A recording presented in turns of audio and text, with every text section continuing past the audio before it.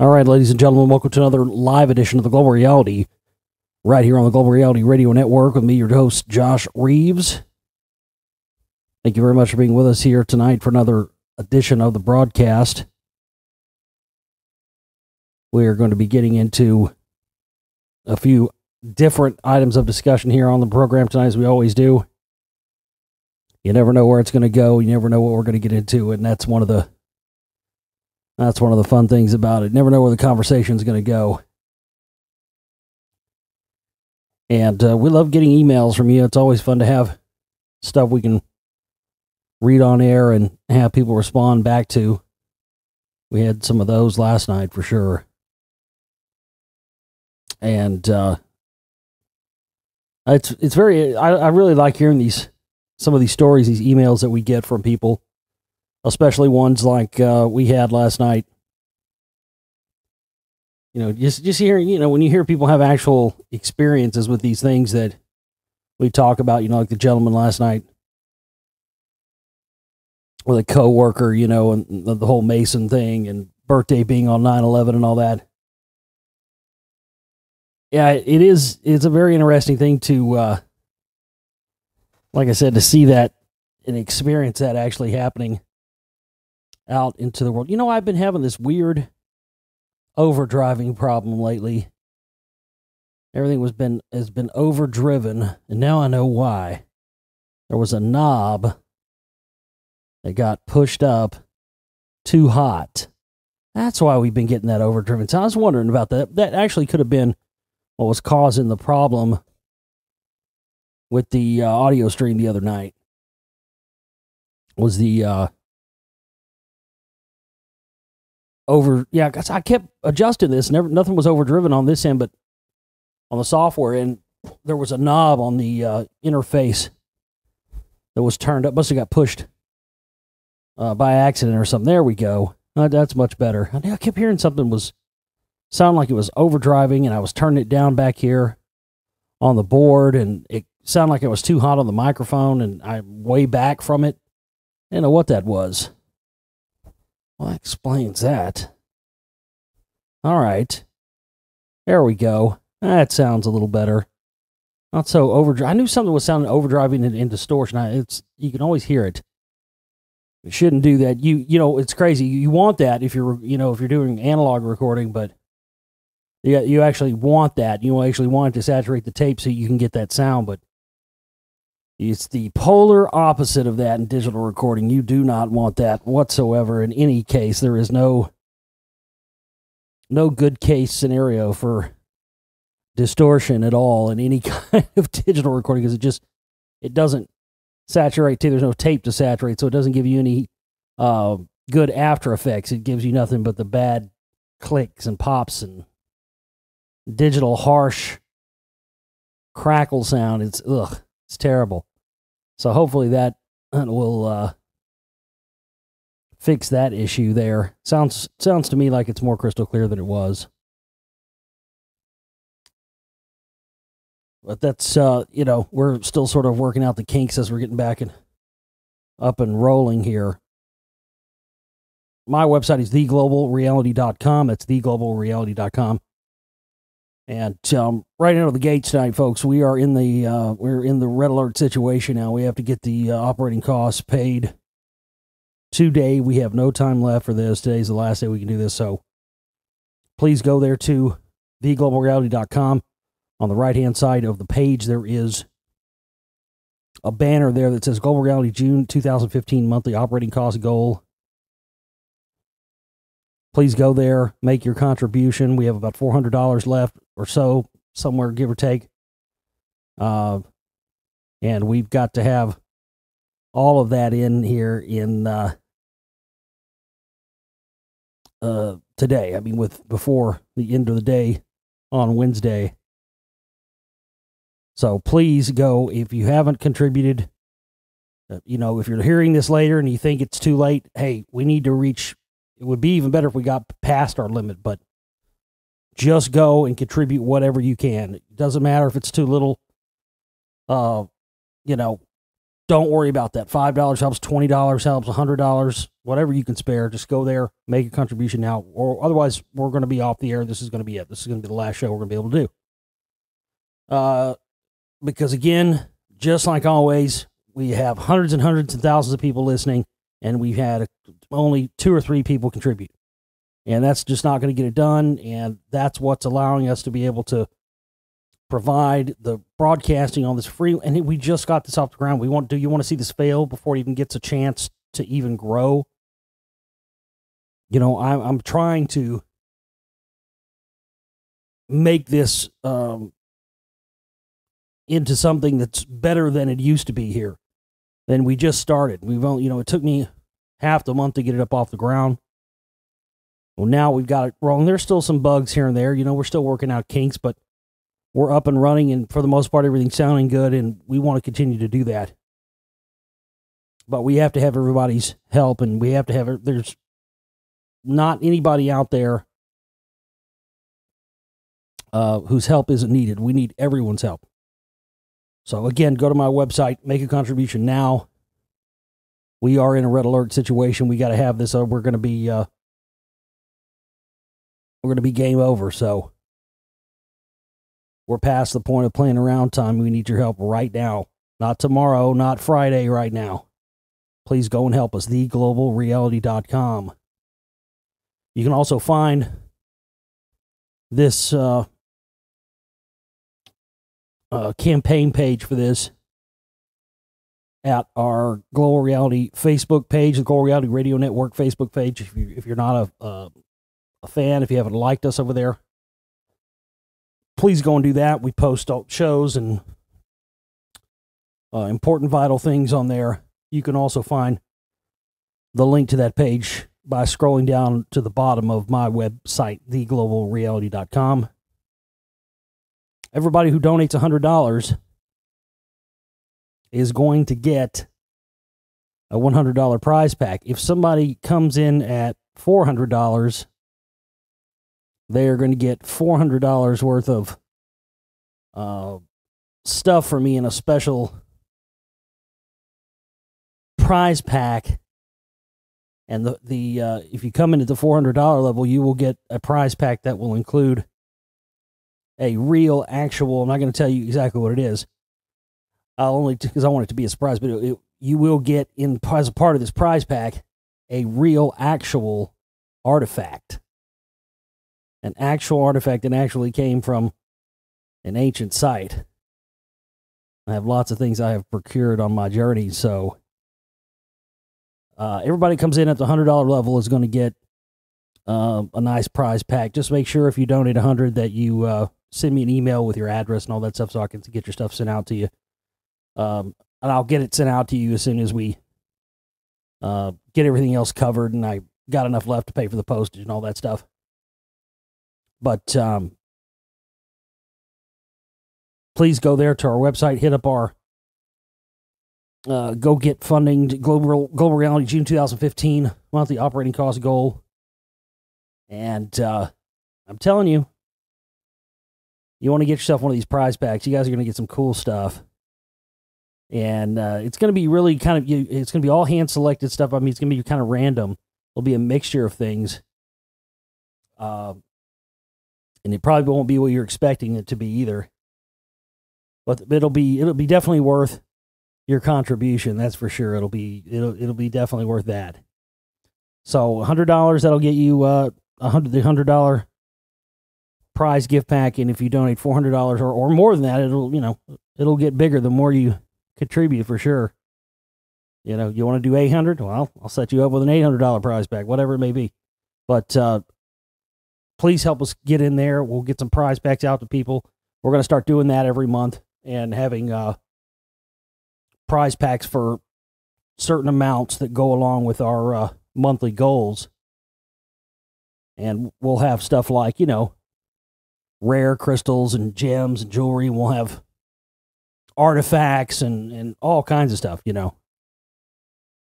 It's going to be really awesome. So please contribute now so we can keep this going. I want to continue to do all the awesome stuff that we have planned here.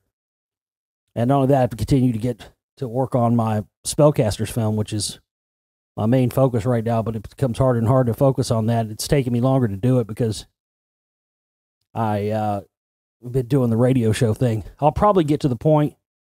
I'm not quite there yet, but I'll probably get to the point. I, I usually do this every time I make a film. I'll probably get to the point where eventually, when I start making, getting more into the uh, editing element of the film, I'll probably at some point take one week off from doing the show and not do any shows for one week and do nothing but work on the film. Because every time I do that, when I'm working on a film, it I get so far ahead that then it's just uh, all downhill after that. It's very easy to maintain after, you know, just taking a solid week off and working on nothing but the film. But it's very difficult to juggle both because it's two different mindsets. It's two different um it's hard to describe. It's almost like two different body uh, states of being. Almost, it's it's really difficult to describe. Two different head head spaces, and it requires two different types of you know, of energy from your body to do it. It's very difficult to describe because uh, there's you know there's a definite process to it. So that's where we're at, and uh, we uh, I, I really don't have anything else to say other than you know it speaks for itself. We gotta we gotta reach our full goal there uh, at the website to cover the cost of stuff. And if we don't, that's to be it. So, all you people out there who have listened on YouTube, who've been listening, I mean, that's the thing. I have analytics now. And it's funny, I'll post a link to the 32K podcast or something on Facebook, and I won't post anywhere else, right? That way I know where all the views are coming in from. And it's funny that people, especially around this time when we when we have to cover operating costs, that's when you'll notice that people liking your thing just drop off the map. When it's not around the first of the month, people don't. They, people uh, they'll like your stuff all day long, but when it comes to that time, they don't like it. So they because what they do, they don't want you. They don't. They don't want to uh, acknowledge to you that they're listening. So you can't identify them, and that's not working anymore because I'll put it out on Facebook and it'll be the only place it's out at and then I'll go and check the stats and notice, oh, well, you know, we've had 30 downloads the first five minutes we put it online, but no one has bothered to like it on Facebook and no one's bothered to contribute. It's things like that, you know, and then we look at our uh, numbers on YouTube. I mean, the most recent videos I put up from this week's show, I mean, we hit almost 300 hits in less than 24 hours. So, you know, three or four or 500 people can listen to one of these shows in the first day or two that they're posted. But we can't get those same 500 people to donate a dollar each or $10 each or, or anything at all for that matter.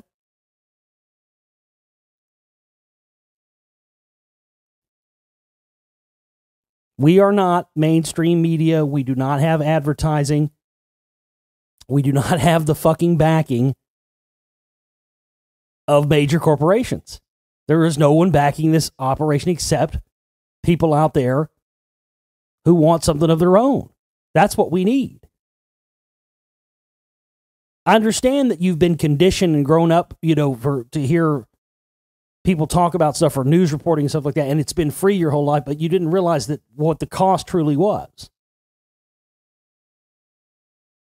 And who was really paying for that.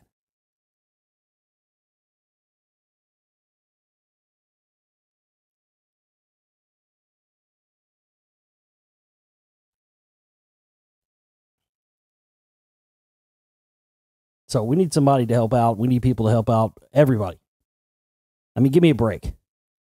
There, there's not there's not four people out there that can donate hundred dollars each. There are eight people out there that can donate fifty dollars each. Give me a break. Come on, let's do this.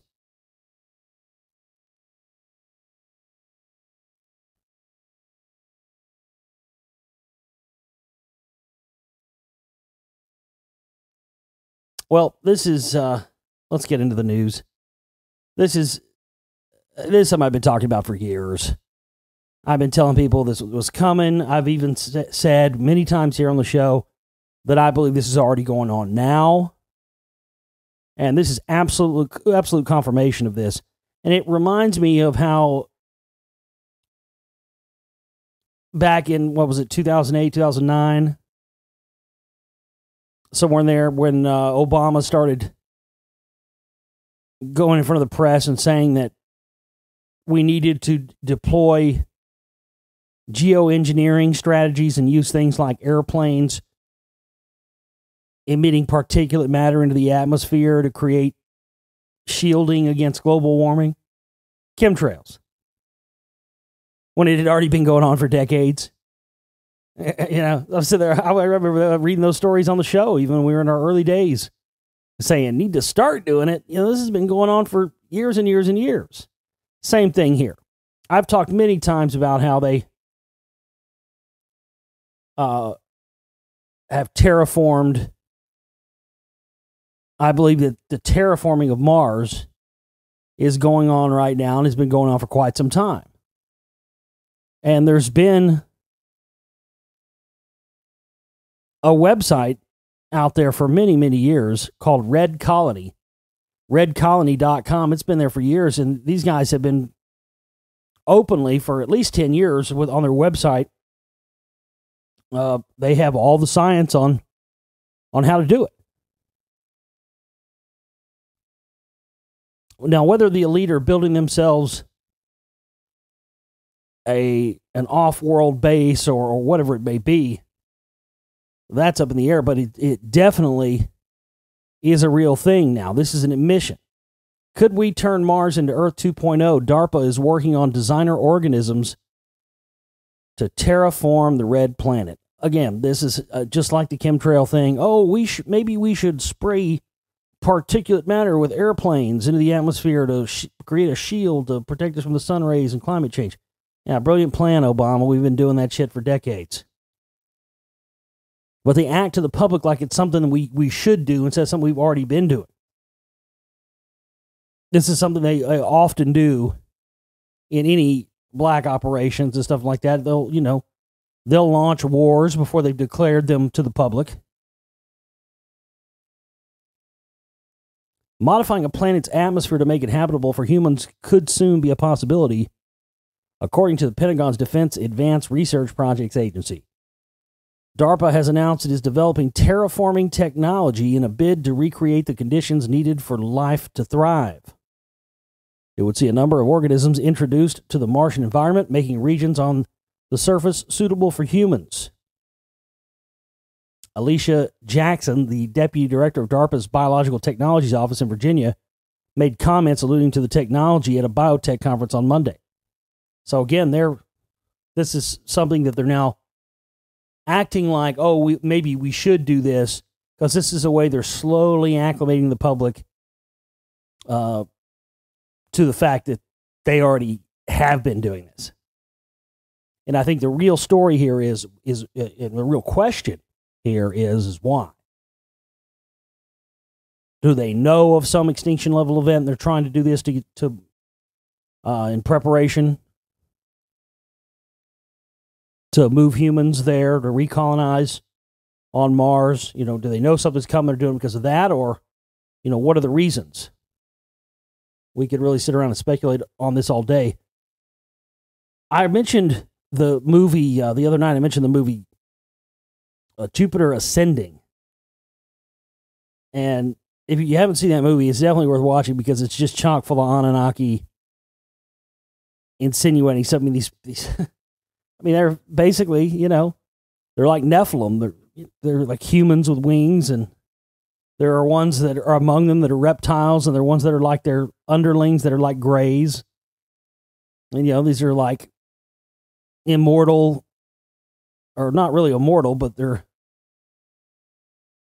you know these royal, long life living people who set up planets to harvest humans, you know, to create their life extending juice. But there was something in there, and it blew my mind because it's something that I remember getting laughed at about when I first talked about it. But it's something I found through my research, and it's it's a definite uh, idea of mine. I think that uh, and I've said this many times on the show, people who've been listening for quite some time will know that I've said that whoever these um, people were, whether we call them the Anunnaki or whatever we call them, that were here prior to the flood and then after. I've said for years that I believe it's a possibility, in just judging from reading the text and everything else, that they terraformed Earth during the time of the dinosaurs to make it habitable for humans. And and of course they uh, they they talk about that that the these Anunnaki type of extraterrestrials in this movie, Jupiter ascending. That's they do exactly did exactly that. They terraformed Earth, and uh, again they they hint at these things again and again, just like we talked about on the last program with the artificial intelligence stuff. You know why? There's a reason why they continue to make all these Terminator movies. There's new, another new Terminator movie out right now. Been coming out with these for years. Um, movies like Ex Machina, which just came out too. There, there's tons. Uh, there was one, I guess, last year, the year before. What was it? Tra- Transcendence, Johnny Depp. Um, all the movies, even the comic book movies like uh, Avengers: Age of Ultron. You know, uh, with the character Vision, artificial intelligence. It's just it's being pumped down our throats constantly, and because it's because they're trying to prepare us for this stuff and prepare us for things that are, I, think, in many ways, already foregone conclusions. It's almost like we're, uh, we're we're really just following a script that was already written that we're destined to follow. And I think a lot of this stuff that we argue about and a lot of the stuff that we ponder when it comes to this work falls under that that category you know of of the self-created self-fulfilling prophecy in a way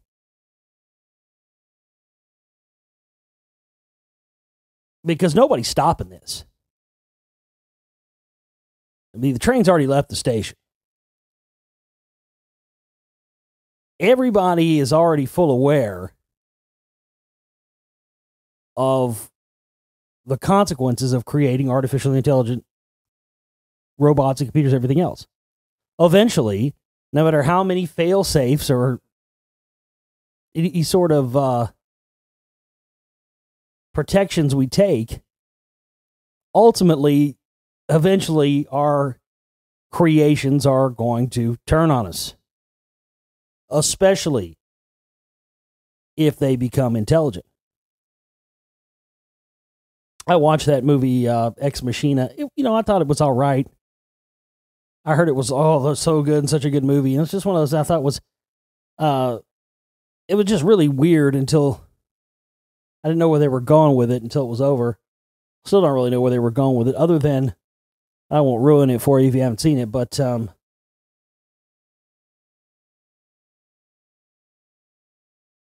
well, just the idea that you know the perfect AI would have all the all the characteristics that human have. You know, the ability to, you know, sex is a weapon and manipulation through, you know, um, emotions and stuff like that.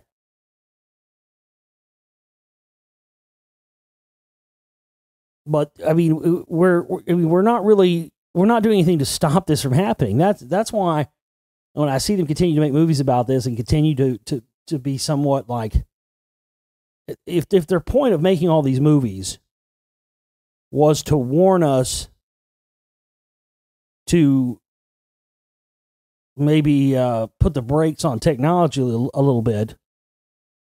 If that was their point of, of funding all these movies, you would think that they would have stopped this a long time ago. Because obviously, it hasn't worked at this point they could make a million movies about how technology is going to you know take over and kill us all and it's not going to stop it so why do they keep making it if that's already a foregone conclusion you know why do they it just it doesn't make sense and i think that that's the whole reason why they continue to make them is because that it's that's just this sick moral code that these elite people have they love to admit things without coming out and admitting it. It's some kind of strange moral code. That way, that you know, they it's like it's not on their conscience or something that they didn't. Well, we didn't come right out and say it, but you know, we made twenty thousand movies telling you what that what that was going to be like and what would happen. But the fact of the matter is, we're doing nothing in any way, shape, or form to try and slow this down. And in fact, it, we, we take more and more steps every day to ensure that it does happen.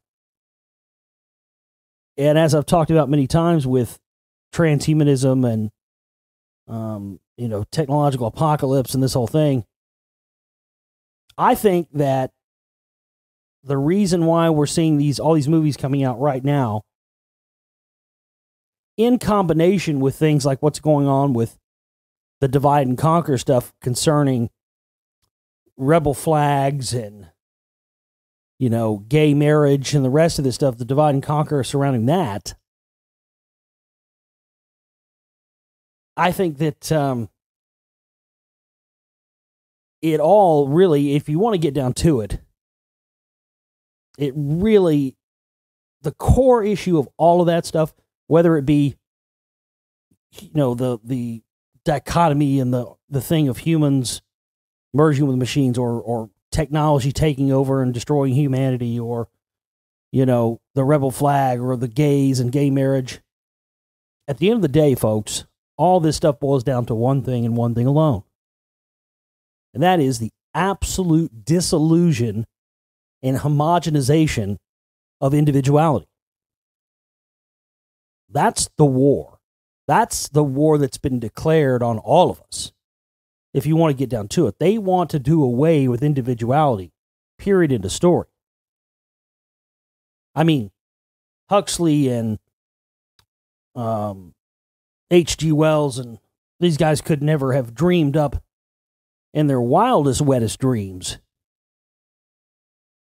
what is being actually unleashed on us non fictionally. I mean, 1984 and Big Brother is nothing compared to this. It's the absolute, they want the absolute dissolution of all individuality, the dissolution of gender, making there be no division between male and that's, that's a big part of it. Whether you want to believe it is or not, it absolutely is. Trying to do away with, with history and, and certain people, what certain people believe to be their heritage, you know, people from the South and whatnot, all that stuff. And the, and the merging with machines and humans becoming part human, part machine is a huge, massive part of it. Because that is the ultimate way they can sell us on willfully destroying permanently humankind and humans themselves own individuality. And that is when it comes down to it at the end of the day, the biggest threat to the state is always individuality. The individual always has more power than the mob or the, you know, the group mindset because it always creates divisions and hierarchies, and those always ultimately get tumbled. But the individual the individual is the one that has the power. The person who can't be bought, the person who can't be goaded or brainwashed into picking a phony side in a controlled Don King like fight. Doesn't matter who wins because I own both sides. I own both fighters. You boys have a good fight. Don't matter either way. I'm going home and get my dick sucked in the cab. That's it. And that's how these guys that run the planet see it too. They don't give a fuck. I mean, you know, you all know that shit. The Rothschilds, all these guys funding both sides of every war since the American Civil War. Give me a break.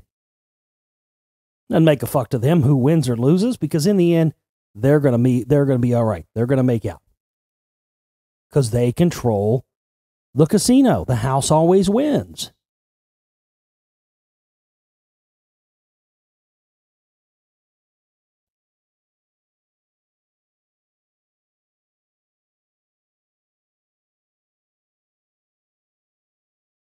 So don't forget it. That's what this is all really about. This is all really about the stripping away of, of individualism and the creation of a homogenized people where everybody thinks the same, acts the same, likes the same stuff. And the technology stuff is, is all a part of that.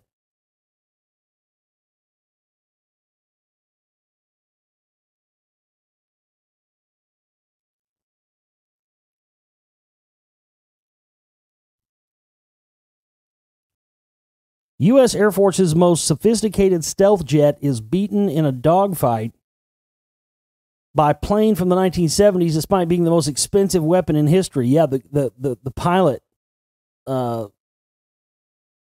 who flew this thing said he wouldn't suggest that you fought in any sort of dogfighting scenario with any aircraft whatsoever within the visual range of your aircraft.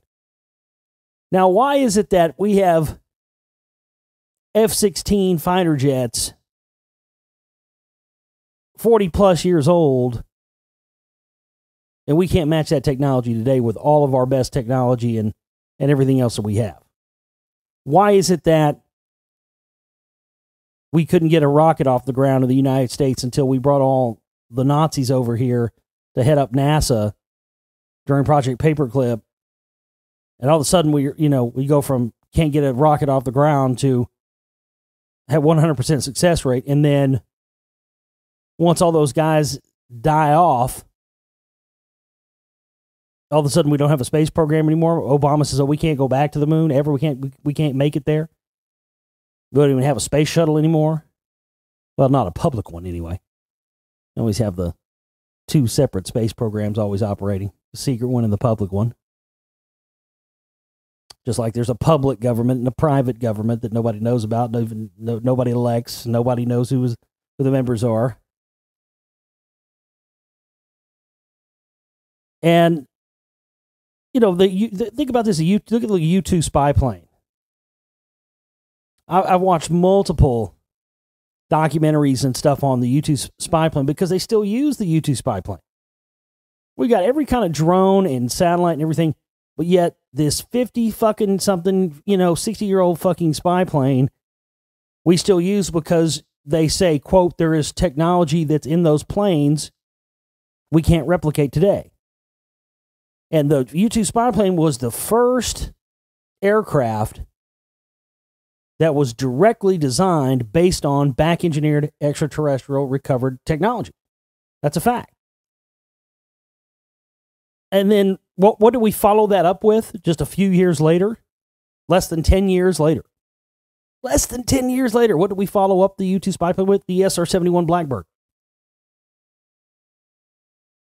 If you don't know what the SR 71 Blackbird is, look it up and then go look up the year that it was made. It's um, that thing was made in like 1955. They tried to retire those multiple times. They keep having to bring them out for the same exact reasons. There's, they, they keep saying the same thing. There's still there's technology in the SR 71 Blackbird we can't duplicate today. I'll tell you what that tells me. That tells me that they haven't got any new technology because essentially they have ran the course on the, the stuff that they back engineered and they haven't got any new blood in here because our space based weapons we got from that same technology have been shooting down the UFOs before they even make it into the atmosphere. So there's nothing to recover. But think about that. So, I mean, it's not just the space program and the rockets and whatnot, but now it's, you know, it's the airplanes biggest budgets ever in the history of warfare at the disposal of these weapons makers, and they can't match 40 year old technology. We had every bit of technology to go to the moon in 1969, but yet we can't go back there in the modern day. We don't have the technology to do it now. Somebody's not telling us the whole story, obviously. And of course, we know why that is. They never went in the first place, but That's not the point. Point is, either the people who originally near this stuff have died off, and it was so secret they couldn't have anyone come up underneath them to take them or you know or take their place or whatever. I don't know, but there's something that definitely going on with that because the only reliable technology that we seem to be able to have is the stuff that was made directly in the period after 1947 when we started to have technology recovered and back engineered.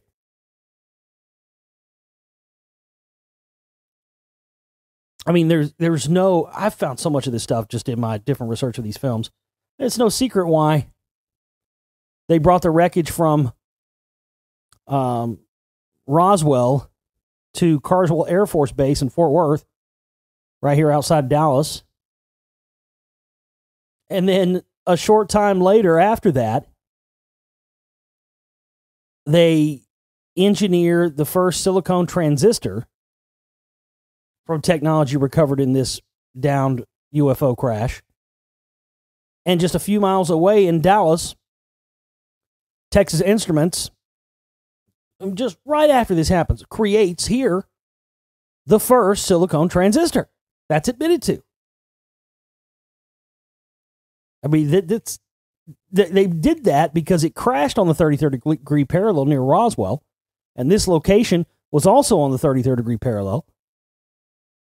And of course, that's that ties in with the whole reason why they offed Kennedy here, because Kennedy was supposedly coming to Dallas that day to admit the existence of extraterrestrials to the public, and he was going to do it here because of a variety of reasons. One, they uh, took the recovered crash stuff to to Dallas, I mean to Fort Worth, and then supposedly also because of stuff they had found as they were building the new uh, Lake Hubbard Reservoir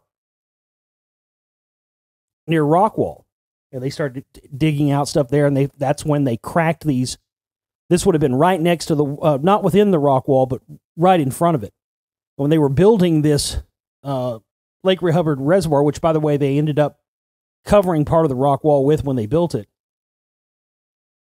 Um, my grandfather used to tell me stories when I was like five years old. I can remember going out on jet boats with my uh, aunt and uncle, my grandpa, when I was four or five years old. And I can remember when I was like five years old being out on that lake, and my grandfather telling me this story. I can remember it to this day, saying, "Josh, did you know that when they built this, like I, to this day, I can't recall why he told me this, but it's probably one of the key, it's definitely one of the key things that led me to finding out about the rock wall. And I learned it when I was five years old. And my grandfather said, Did you know when they built this lake that they weren't able to get the tractors and the digging equipment out of here before it filled up with water? And all that machinery is still down there under the water, right where we're at to this day. And that blew my mind. You know, five years old. Whoa, really? That's crazy. They just left it down there. You know, why didn't they? Why didn't they get it? And you know, he didn't. Ever, he didn't really know what to tell me. And of course, you can imagine my shock when I found out that when they were excavating the area, which was a, a very old, old forest, uh, right next to where the rock wall is. I mean, we were talking within, you know, 150, 150 yards or something. And when they were digging this thing out, they cracked what were described as a rock lined dome uh, enclosure in the ground that went down under this was, you know, ground level and went down into the ground really far and deep. And they cracked one of these and a guy's caterpillar digger fell off in there and he jumped off just in time before the thing fell off into this rock lined dome uh, cavern. We don't know what this is. I mean, this is, we're talking, I mean, it's right in front of where the rock wall is. We don't know whether this is an entrance to some underground subterranean chamber or a separate part or even a separate structure from the rock wall. But whatever it was, my grandfather heard about it and heard stories about new people talking about it because they didn't live too far, you know, from where Rockwall was. So he had heard, you know, obviously he'd heard somebody talking about it was in the, you know, was in the news or something, but he knew about those you know them cracking some kind of rock dome thing and then falling out, falling down there. And then when I found out about that years later, I went, oh my gosh! And the the guy, I even found a news report where the the guy who had this uh, backhoe or whatever it was, he had it was brand new. He had just bought it. He paid like 150 grand for it, you know, 1963 dollars or whatever. And um, for whatever reason, and they said they never gave him what he felt was an appropriate reason for why he couldn't recover it, but they absolutely told him he could not recover it. They had to leave it down there. And um, the other stuff I found says that that they found another one of these but I think they found some. I think they found something in there, whether it was a subterranean chamber of, of giant skeletons or something. I don't know. But here's the thing: whatever they found, they were they were two and a half years behind schedule building that lake. Just a few months before Kennedy was assassinated here in Dallas, they cracked that rock line dome thing. The tractors fall down in there. Two months later, Kennedy comes to Dallas, supposedly to talk about some of this extraterrestrial stuff, gets gets his head blown off. And then by March of the next year, by March of, of 1964, just four months after Kennedy's assassination,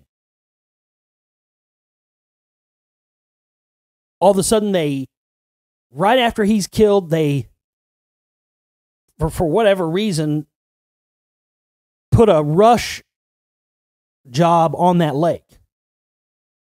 So they go from being two and a half years behind its construction to having a rush job on it and being, done just a few months after Kennedy's assassination. And that was the story was that that lake was built there to cover up what was discovered whenever they uh, were building it out. And I'll tell you, it's crazy. I mean, for this to be a you know, usually when you have man made lakes, they usually don't have crazy depth. But I remember going out there with my dad when I was a kid, my dad would be like, my dad would always take, you know, long anchors and what he'd be like, you, know, you can drop an anchor down 130 feet in places in this motherfucker and you won't even hit bottom. 130 feet, dude. I mean, this is just a freshwater reservoir built for public water supply, you know? But there are, because it was built on such um, old stuff, and who knows what's down there.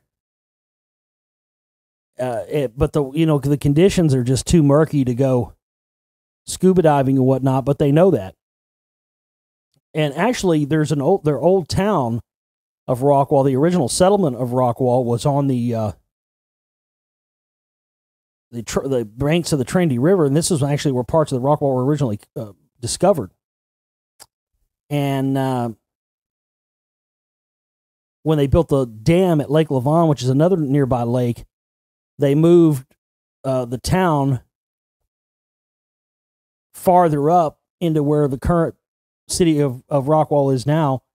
And then they flooded all that out. And I've heard from other Rockwall researchers and other people that looked into this before me that um, in that old old town that was flooded out over there, there's supposedly some some more strange artifacts that may relate to the rock wall, like pyramid shaped stones and all kinds of crazy stuff. So this area you know, around here in Dallas, I'm, I'm finding out more and more. It's crazy. I mean, it's not just rock wall, and it's not just Dallas. I mean, there's all stuff around this whole area. There's another city uh, that's in the suburbs out here, Flower Mound, and I remember my brother said, "Hey, have you ever looked into Flower Mound?" I was like, "Yeah, I have. It's crazy because they have, um, it's a giant, giant fucking mound." And I found, you know, yet again another clue in that that led me to believe it was built by the same people I've already been onto. Because even if you go to their own website and read up about it, it uh, this mound sits at 666 feet exactly above sea level. That 666 is encoded numerically throughout mound structures within uh, the Ohio River Valley.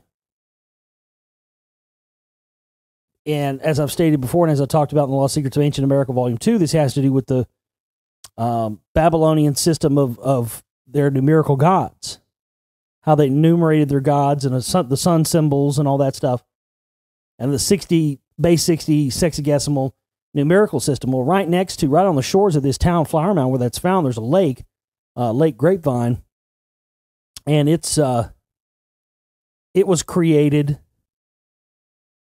and they covered up a bunch of stuff there too. And before we had all this rain, before when, when the drought was still going on, uh, the Army Corps of Engineers had to go out there and fence a bunch of stuff off because they started finding that all these ancient dinosaur prints and stuff were under this lake. Like there was this big giant ancient dinosaur site. They just decided to build a lake on it and cover it up.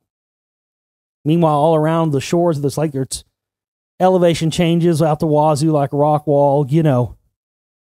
And there's another town right near both of those places, right near Grapevine, right near uh, Flower Mound, called Southlake. If you look up Southlake, it's known as the most affluent zip code in America. And it replaced Rockwall a couple years ago as the richest county in Texas. And I've been over there a couple of times, and boy, it's it's moundy as all get out over there. And it reminds me a lot of Rockwall as far as you can totally tell uh, there was ancient stuff here that they just built all this on. And it's unlike anywhere else in this whole metroplex of Dallas. There's nowhere else that's really like that. Except when you get in these outlying areas. And of course, it being right there near the town of, of course, Flower Mound. And these being the, you know, again, the two, you think it's a coincidence that the two most affluent and richest zip codes in the state of Texas are obviously built on top of ancient sites? stuff they're trying to cover up. I mean, I'm in the heart of it here, man. I've traveled all over the country going to all these ancient sites and all this stuff. And really, to be honest with you, besides uh, the Ohio Valley, where the Newark Earthworks and all that stuff are there, it's it's the same thing there. It's just it's miles and miles of towns and cities and roads. And if you didn't know it, you wouldn't know that everything that whole fucking state of Ohio is a goddamn mound. That's the thing I noticed when I went there. I was blown away. You're looking at the roads, you see all these strange elevations, and you you, you know you realize there are mounds just for miles and miles and miles and miles, and you realize almost everything there is a fucking mound. It's it's unbelievable, but I've never seen anything else like what is here in the outskirts of Dallas anywhere else except there. There's just nothing else like it. And they continue to cover this stuff up, act like it doesn't exist, trying to flush it into the garbage bins of history and that's exactly why they want to take over this country, split it up into different factions, have the corporations come and take over. Because they know we're getting close to finally uncovering the real reason why this all, all stuff is here. And uh, again, Sir Francis Bacon, he wrote his book, The New Atlantis. If you haven't ever read that, you need to read it. He he knew that they knew this was here. They knew that the Atlantis of old was built right here in the United States, and they knew ahead of time this is where the, it was. It was like the self fulfilling prophecy thing I talked about earlier. They knew that this is where it was going to happen again, and he even predicted that just like the Atlantis of old, we would reach a point where we would have to make a decision over which was more important the survival of the species or power for the sake of more power. And, you know, we are indeed reaching that point yet again every day. So they've known it for years. And that's part of what worries me about all this divide and conquer and this attempt to foment race war. Because from the ancient religions to the, you know, researching the priest class as, I, as I've done for years, the one continual thing that I've found through all of this is it seems that the elite have some desire or some goal to make things like, you know, the end of times, the end of days, uh, the fall of Atlantis, whatever. It just seems like they're like they somehow believe that it's their duty to ma- ensure that these things happen again and, or happen as they've been prophesied to occur. Almost as if their personal goal and lot in life is to ensure that this stuff happens. And it's hard to think that if that is indeed the case, that our planet isn't run by a truly evil and dare I say even, you know, demonic force. And it's stuff like this that, you know, I find more and more every day after I've been looking and after I've been researching this stuff for so many years.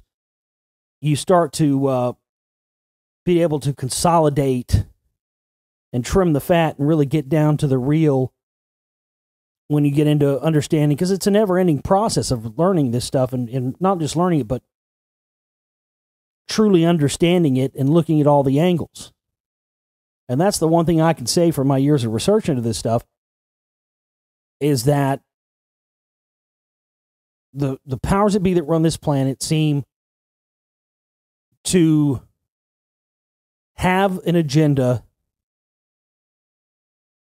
to bring about some long ago predicted ending to our civilization as if that's their only reason for their existence and the only reason for any of our existence. Now, if this is if this is being done so that we can ascend up to a higher plane of existence in another planet in another dimension or something, all right, let's you know, let's go for it. Fuck it. Let's kick off the apocalypse. Let's make this happen. But something tells me if this is only being done for whatever their own sick, evil, maniacal ends are.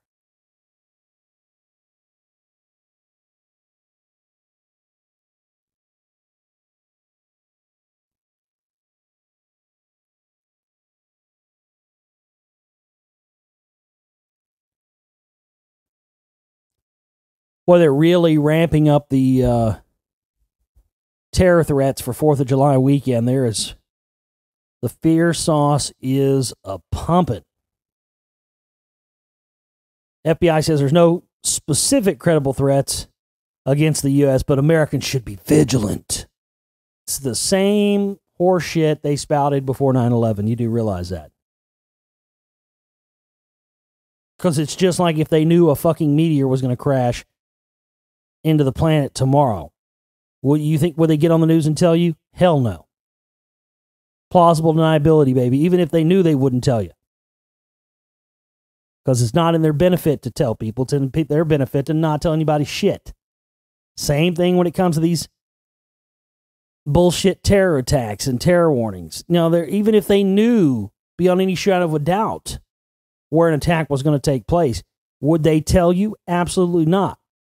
And it's not just about keeping everybody from panicking, it's about being able to control what they deem to be the positives from one of these events. And there was some stuff going around yesterday I saw about some Craigslist ad or something that supposedly got put on um, Craigslist in Houston where they were looking to pay crisis actors in Houston $200 a day to be crisis actors for some supposed drill of a terror attack happening in Houston somewhere between July 4th and July 6th, which is my birthday, by the way. Some are speculating that this is uh, that they're planning some sort of terror event this Saturday in Houston under the guise of a drill maybe a part of the Jade Helm thing, and uh, that will actually not be a drill, but be a real terror event, as they've done time and time again. You know, I uh, I don't ever I don't get behind these things, and I mean, again, anything like this could happen any old day of the week. But for me, my thing about it is the only reason I'm concerned with this at all is for whatever reason, and we know probably what some of those reasons are. We talked about it last night. Texas is Texas' stance on uh, everything from the gay marriage ruling to now wanting their gold back. I mean, they they've got my state and its people in the crosshairs, and there are a lot of good people here in this state, like myself and others, who uh, don't stand on either one of these sides. We're not on the phony left. We're not on the phony right. We're on the, the side of free humans, free individuals. And, you know, a lot of people like that, like us, are going to get caught in the crosshairs of this stuff.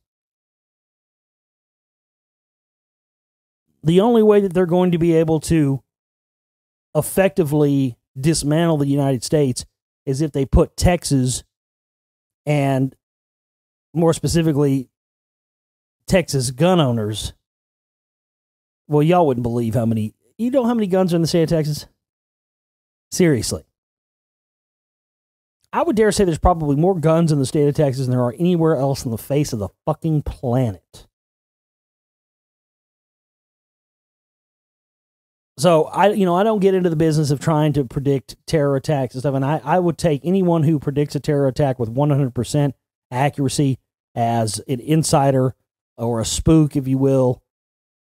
No one has the ability to predict exactly on a day when one of these are going to happen. And anybody that ever says that they did is an absolute liar and, and a plant. Somebody who uh, had pre knowledge of this because they're an insider. but as I said, it does at least make me worrisome, at least, you know, make me wonder if they may try something like this strictly because they've already got us here in Texas in their crosshair so much that this could be what they've been planning all along. I just don't know. But I feel the need to report it anyway.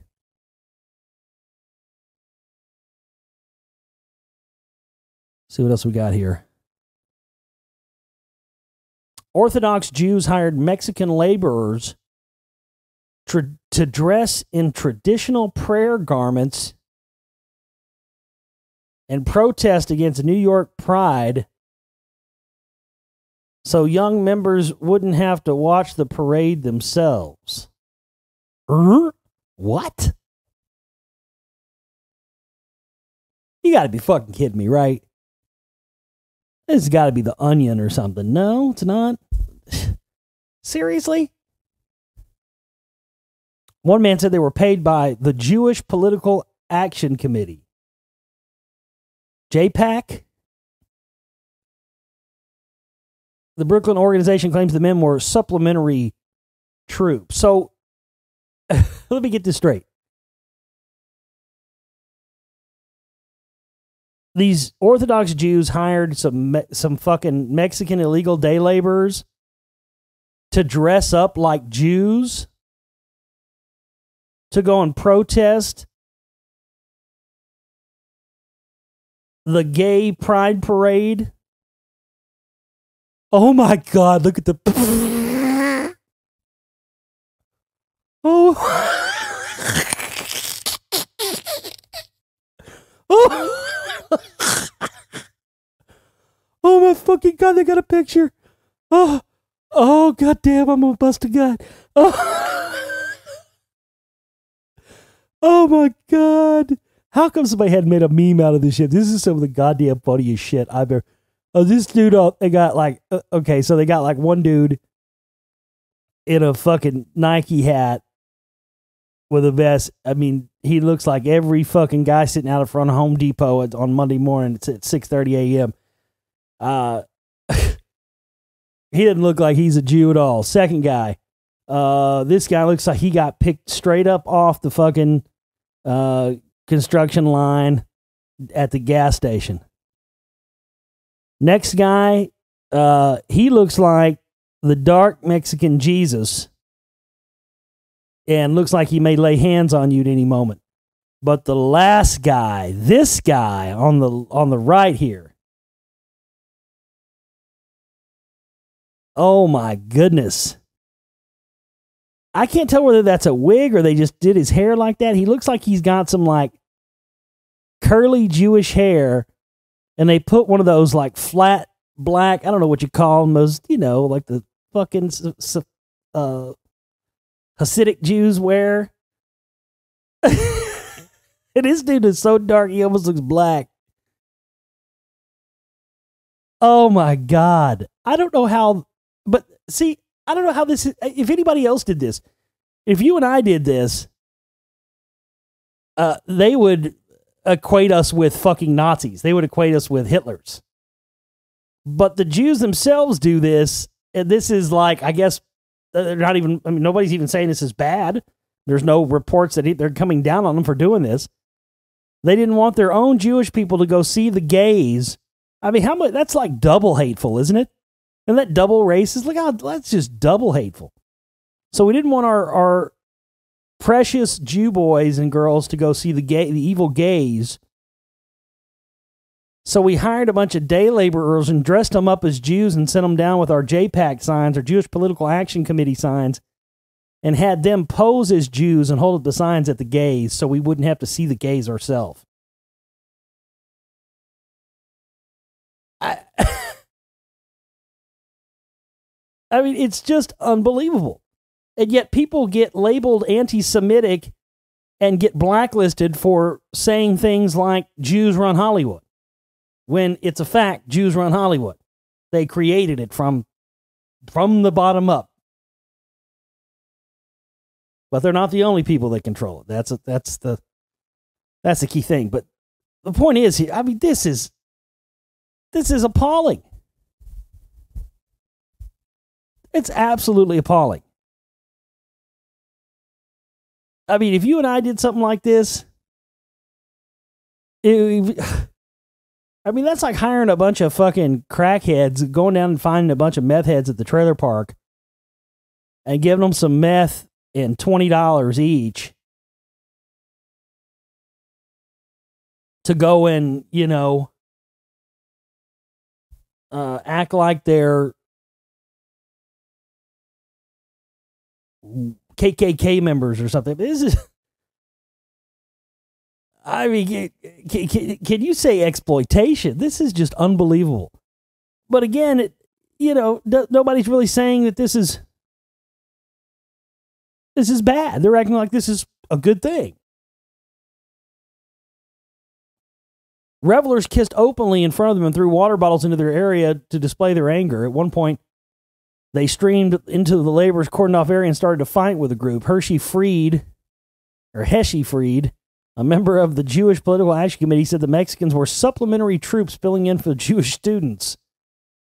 The rabbi said that the yeshiva boys shouldn't come out for this because of what they would see at the parade. Oh, what? Eh, well, that, that insinuates that they didn't want them to see it because they were afraid they'd like it. That's what that insinuates. That's the real truth here. Okay, I get it now. I see what's going on here. Took me a minute. Oh, I see. Okay. So you're afraid these boys were going to come down and see the gay guys out there flaunting their stuff and doing it freely out in the open, and they were going to be like, "Oh, I want me some of that action." The the yeshiva boys shouldn't come out for this because of what they would see at the parade. It's been a lot of confrontation. Whenever you have emotions, you have a situation. One of the signs being held up at the by the group was quote Judaism promotes, or I'm sorry, Judaism prohibits homosexuality. Does it? Does does Judaism prohibit homosexuality? Because uh, I'm pretty sure that the liberal Jew run media has been behind pushing all of this stuff. I'm pretty sure I've seen gay Jew people in my life.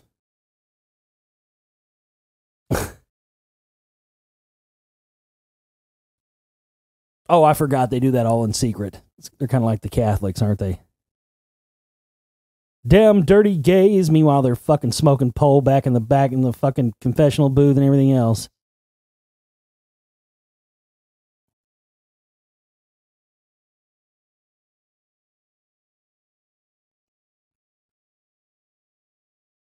Oh god damn, it's funny though. They didn't. You should have gave them fake beards. If they would have given fake beards, it would have been much better.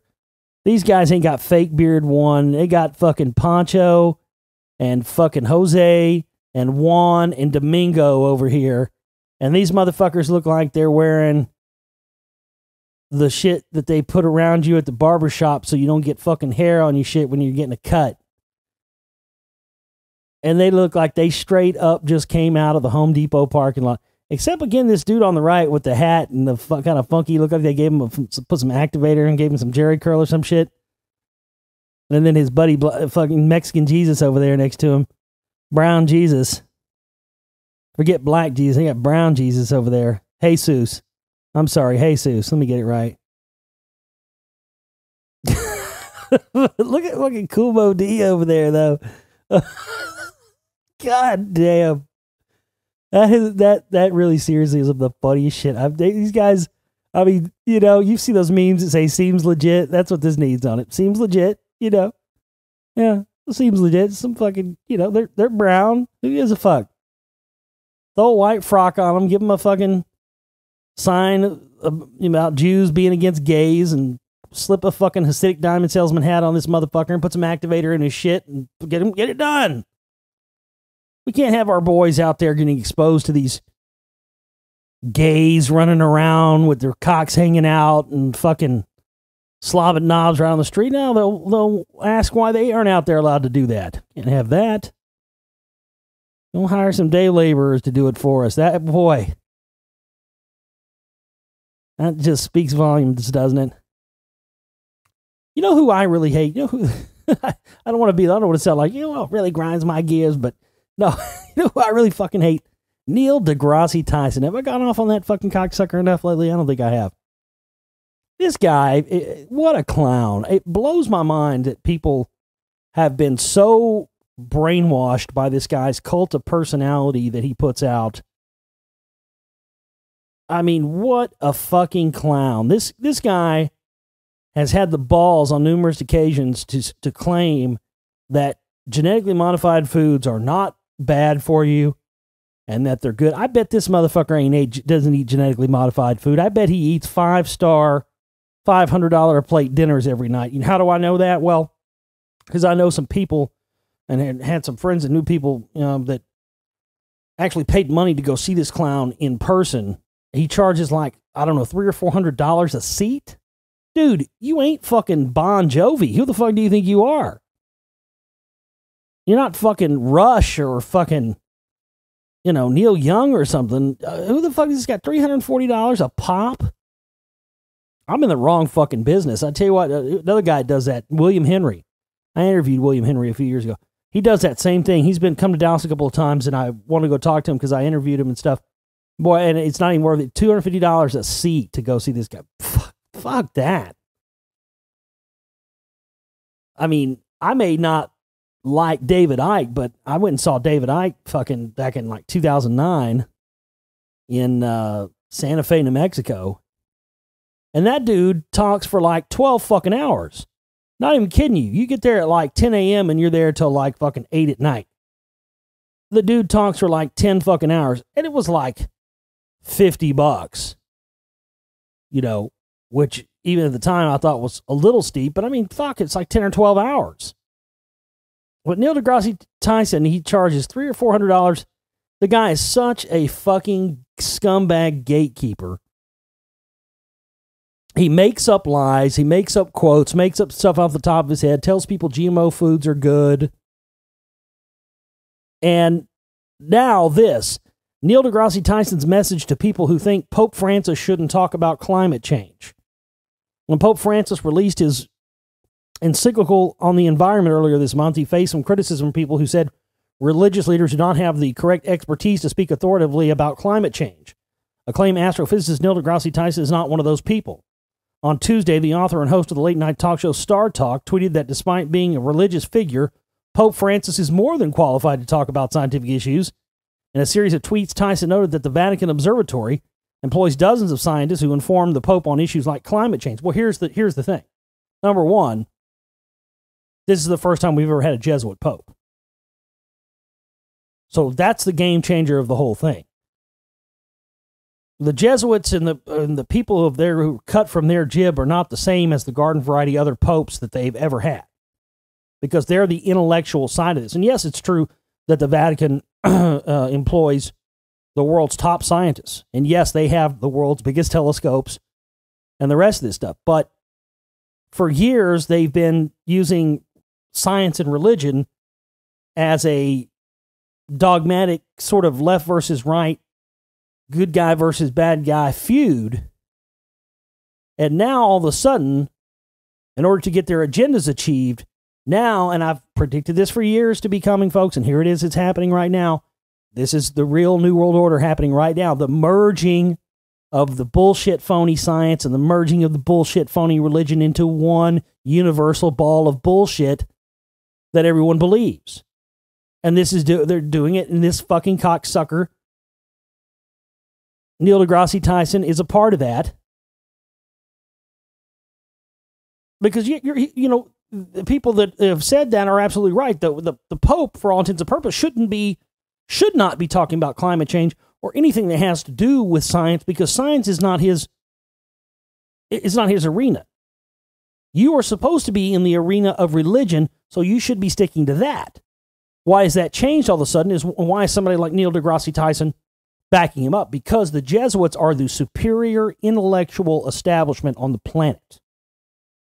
That's a fact. That's why Jesuit education, Jesuit trained individuals go on to such high level things in life. They are the intellectual heft behind world affairs.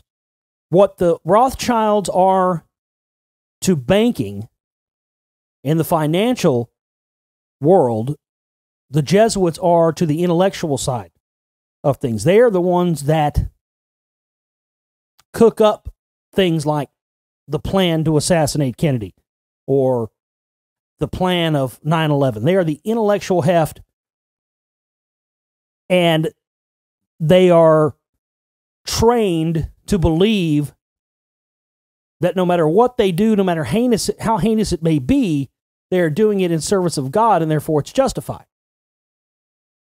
And when you start to see that being merged with these bullshit gatekeeping pseudo-scientific liars like Neil deGrasse Tyson. Folks, that's the biggest indicator that the stuff that people have been talking about for years, the New World Order, this, that, and the other, is here and it's here right now. And this is a big indicator of this. They lie about the things that are bad. They try to every at every turn they steer it back towards whatever the current political narrative and belief structure is and nothing that it, they ever say ever is outside of the box. It's always 100% in the agenda, and this is absolute proof of that. Unbelievable stuff.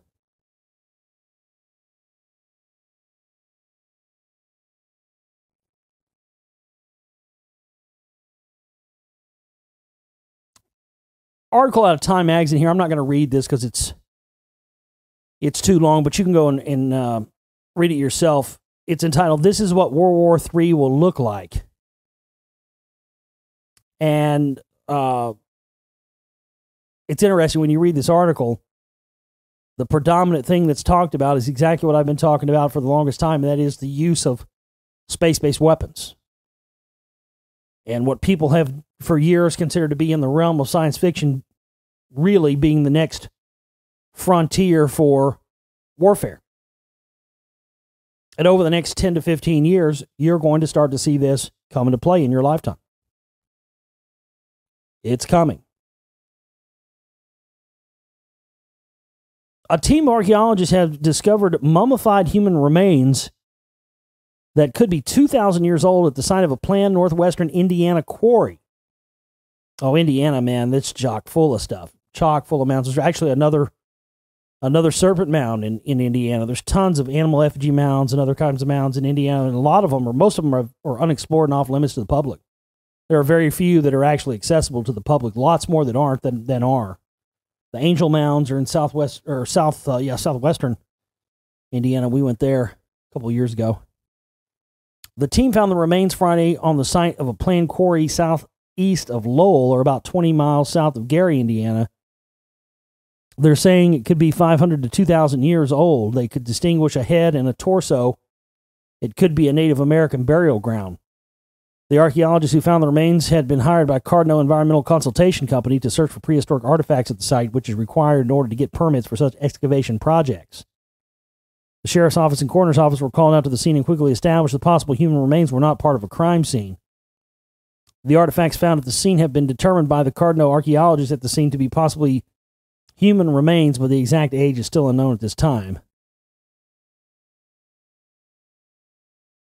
Farmers and residents in southern Lake County have opposed the quarry, which Indianapolis based Rieth Riley Construction Company intends to mine for a concrete aggregate that's used in road construction. The quarry also would be used as a giant retention pond to capture overflow from nearby Singleton Ditch. It's probably that whole site that they're wanting to do this quarry on is probably an ancient archaeological site.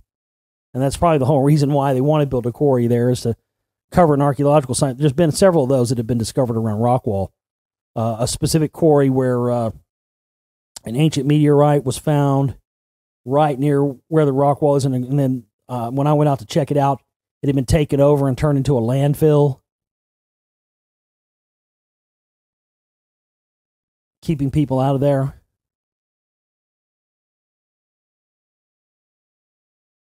Into the light, how LIDAR is replacing radar as the archaeologist's map tool of choice. Boy, I wish we had the money to do that. That's what I want. I want LIDAR scans done of the rock wall. Because then we'd never even have to dig anything. With LIDAR, you can get, you know, full 3D images of everything underneath the ground, and then you put it together in a computer. You don't even have to dig anything. Colorado State University archaeologist Chris Fisher found out about LIDAR in 2009. He was surveying the ruins of Angamuco in west central Mexico the traditional way, with a line of grad students and assistants walking carefully while looking at the ground for bits of ceramics, the remains of an old foundation, or even a tomb. He had expected to find a settlement, but instead he happened upon a major city of the Purépecha Empire rivals of the Aztecs in the centuries immediately preceding the Spanish conquest of Mexico in 1519. The site covered 13 square kilometers. Traditional surveying would have taken years, so he turned to a technology that uses pulses of light to penetrate the forest and ground to reveal what lay beneath. In two seasons, we had surveyed only two square kilometers.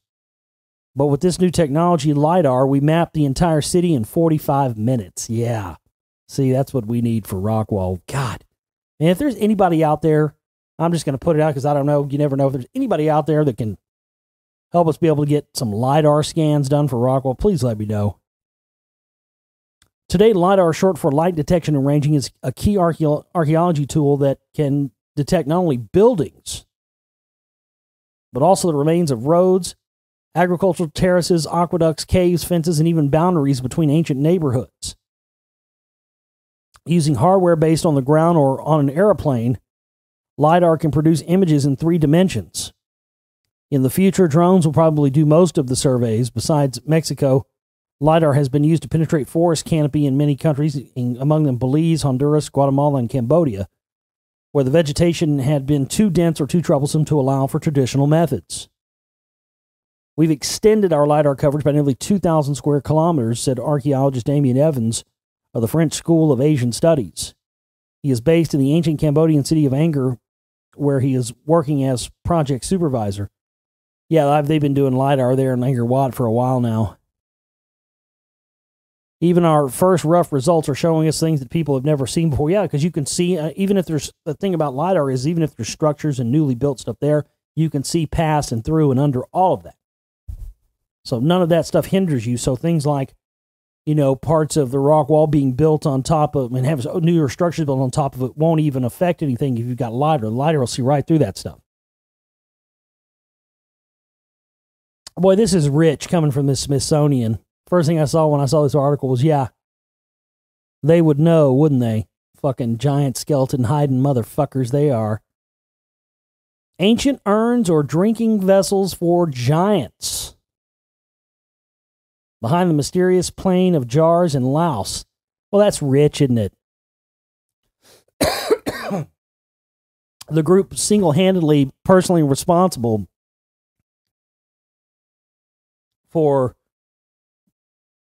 hiding the truth about giants more than anybody else, insinuating these ancient giant jars in Laos may have been drinking vessels for giants. Well, that's rich. Stonehenge inspires awe, but there's an even more mysterious ancient site in Laos. The plain of jars consists of thousands of prehistoric stone vessels scattered over hundreds of square kilometers near Phon Savan in the northeastern part of the country. A hilly area, despite the plain in the name. So there's mounds everywhere, of course. The huge jars form a surreal sight. Some are up to 10 feet tall and weigh several tons. It's an archaeological wonder that experts still haven't pinned down. French archaeologists began puzzling over the vast display in the early 20th century. One Henri Parmentier, who visited in 1923, found that although the contents of many of the jars had already been plundered, a typical one might contain one or two black pots, one or two hand axes, and a bizarre object, he concluded, was a lamp, glass beads, drilled carnelian beads, earrings of stone or glass, bronze bells, and frequently the debris of human bones. They're probably cooking and eating fucking humans, and giants were probably cooking and eating some fucking humans and the motherfuckers, what they were doing. Yet another French archaeologist, Madeleine Colani, is credited with providing much of the early information about the site after conducting field research.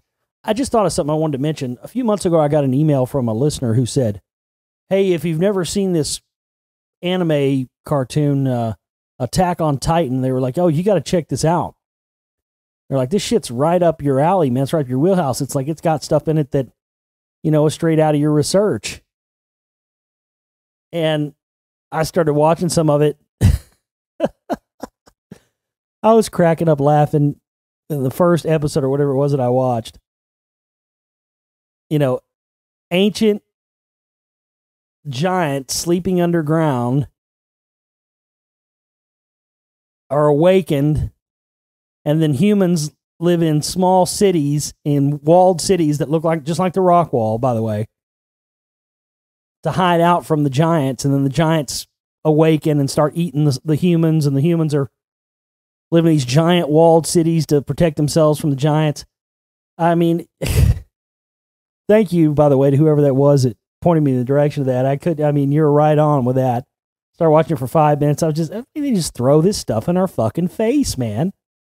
They put it in cartoons, they put it in crap and act like it's just a joke, but uh, they do that because they know it's real and they know that if they create the belief it's fiction and make cartoons as if to back up that fiction, nobody will ever believe it's true if any proof ever does come out about it.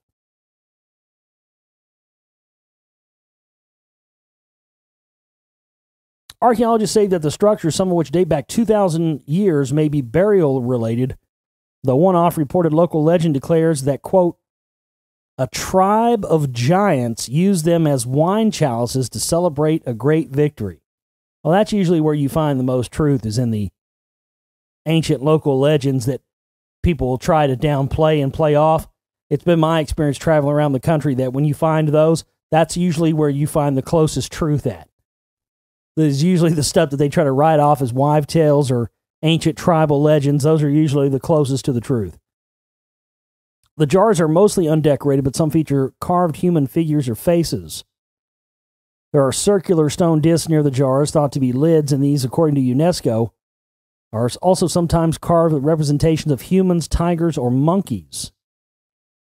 Similar creations exist elsewhere, including in a part of India 600 miles away, but it's still unclear exactly which civilization made the ones in Laos.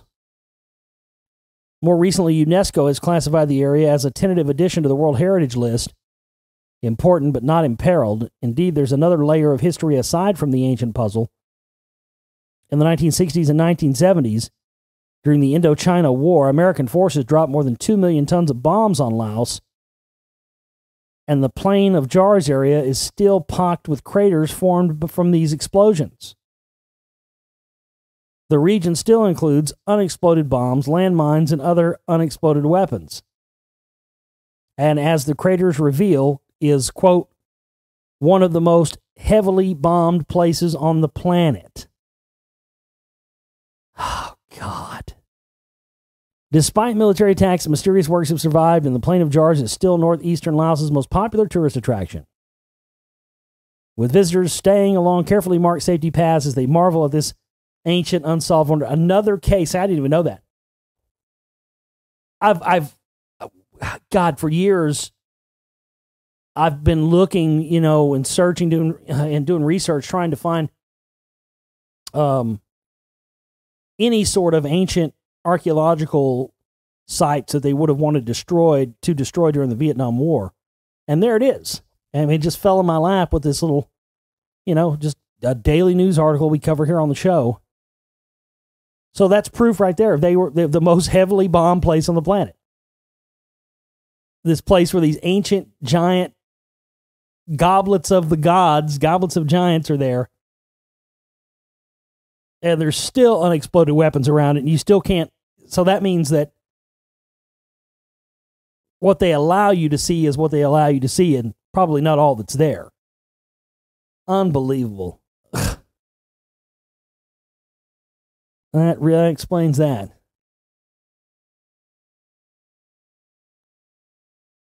All right, folks. That's going to do it for the show tonight. Again, we are at crunch time. Go to my website, theglobalreality.com. Hit up our Global Reality June 2015 monthly operating costs where you can use the donate button there if you want. Uh, we got to have at least $400 in here ASAP. Get yourself the prize pack. Anybody that donates $100 or more is going to get a prize pack. Whoever donates the most will get the biggest. So we don't have any time to waste. We got to have this ASAP. If you're hearing me talk about this, if you're hearing the sound of my voice, that means you need to donate immediately. My name is Josh Reeves. I love each and every one of you. We'll see you next time, hopefully, if we reach our goal. If we don't reach our goal today, um, that's it. We won't be back. So it's in your hands. Take care.